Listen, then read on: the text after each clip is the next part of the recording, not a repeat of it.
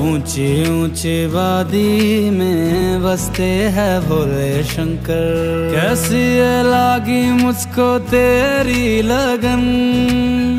गाऊं और झूमू होके तुझ में मगन।